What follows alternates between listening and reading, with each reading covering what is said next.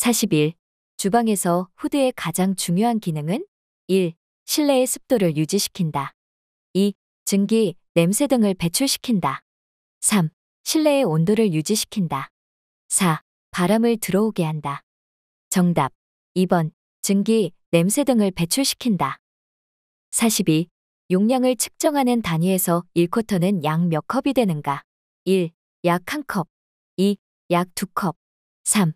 약 4컵. 4. 약 3컵. 정답. 3번. 약 4컵. 43. 양갱을 만들 때 필요한 재료가 아닌 것은? 1. 한천. 2. 파당금. 3. 설탕. 4. 젤라틴. 정답. 4번. 젤라틴. 44. 계산 경제성의 원칙을 다른 말로 무엇이라고 하는가? 1. 간접성의 원칙. 2. 중요성의 원칙. 3. 계산성의 원칙. 4. 비교성의 원칙. 정답. 2번. 중요성의 원칙. 45.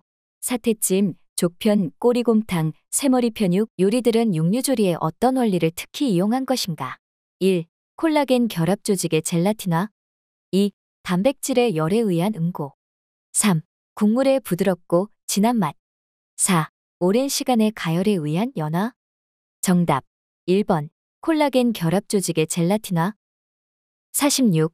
다음은 식단 작성의 순서이다. 맞게 연결된 것은 기억, 삼식의 영양량 배분, 니은, 주식의 종류와 양 결정, 디귿, 미량 영양소 보급 방법 결정, 리을, 조리 시의 배합 고려, 미음, 급여 영양량 결정, 비읍, 부식의 결정.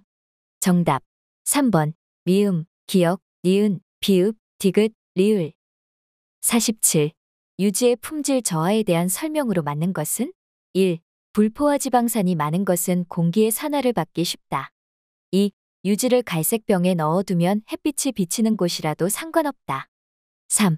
가열 온도가 낮을수록 산화가 촉진된다. 4. 스테인 리스 냄비를 사용했을 때 산화가 가장 빠르다. 정답. 1번. 불포화 지방산이 많은 것은 공기의 산화를 받기 쉽다. 48. 수입 쇠고기 두근을 3만원에 구입하여 50명의 식사를 공급하였다. 식단 가격을 2,500원으로 정한다면 식품의 원가는 몇 퍼센트인가? 1. 12%, 2.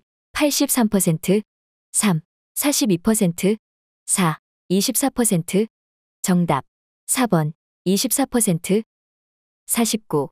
식품의 감별로 적합하지 않은 것은? 1. 송이버섯, 봉오리가 크고 줄기가 부드러운 것. 2. 달걀, 표면이 거칠고 광택이 없는 것. 3. 감자, 고구마, 병충해, 바라, 외상, 부패 등이 없는 것. 4. 생과일, 성숙하고 신선하며 청결한 것. 정답. 1번. 송이버섯, 봉오리가 크고 줄기가 부드러운 것. 50. 피급식자의 영양 소요량 결정에 고려해야 할 조건으로만 묶여진 것은 1. 연령, 성별, 노동 강도 2. 연령, 신장, 체중 3. 연령, 노동 강도, 신장 4. 연령, 성별, 체중 정답 1번 연령, 성별, 노동 강도 51. 세계보건기구의 중요 기능이 아닌 것은 1. 개인의 정신보건 향상 2. 회원국에 대한 기술 지원 및 자료 공급. 3. 전문가 파견에 의한 기술 자문 활동. 4. 국제적인 보건 사업의 지휘 및 조정. 정답. 1번. 개인의 정신보건 향상. 52. 공기의 조성원소 중에 가장 많은 최적 백분율을 차지하는 것은 1. 이산화탄소 2. 질소 3. 산소 4. 아르곤 정답 2번 질소 53. 잠복기가 가장 긴 전염병은 1. 파라티푸스 2. 디프테리아 3.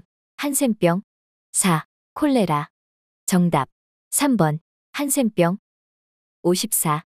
아메바에 의해서 발생되는 질병은 1. 장티푸스 2. 이질 3. 콜레라 4. 유행성 간염 정답 2번 이질 55. 집단 감염이 잘 되는 기생충은 1. 회충 2. 유충 3. 구충 4. 편충 정답 2번 유충 56. 민물고기를 생식한 일이 없는 경우에 간흡충에 감염될 가능성이 있는 것은 1.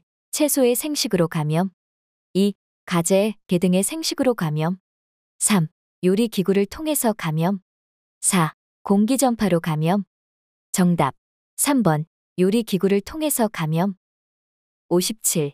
자외선에 의한 인체 건강 장애와 거리가 먼 것은 1. 설한염 2. 결막염 3. 백내장 4. 폐기종 정답 4번 폐기종 58. 쓰레기 소각 처리 시 가장 위생적으로 문제가 되는 것은 1. 높은 열의 발생 2. 사후 폐기물 발생 3.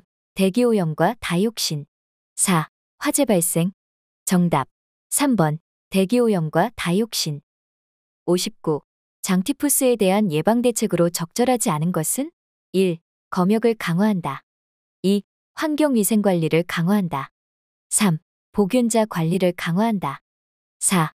예방접종을 강화한다. 정답 1번 검역을 강화한다. 60. 포자, 아포형 성균의 멸균에 알맞은 소독법은 1. 자비소독법 2. 저온 소독법 3. 고압증기멸균법 4. 희석법 정답 3번 고압증기멸균법